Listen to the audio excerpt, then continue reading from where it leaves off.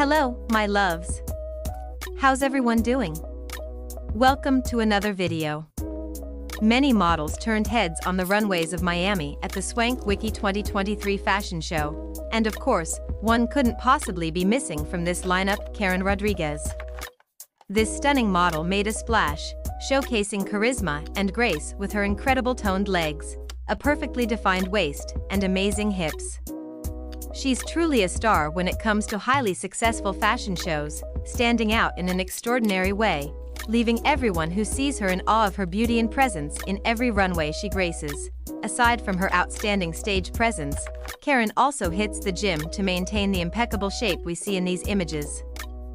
Her workouts at the gym have garnered her a lot of attention on social media, where she can't go unnoticed. So, what did you all think of Karen Rodriguez's performance in this runway show? Please share your thoughts in the comments below.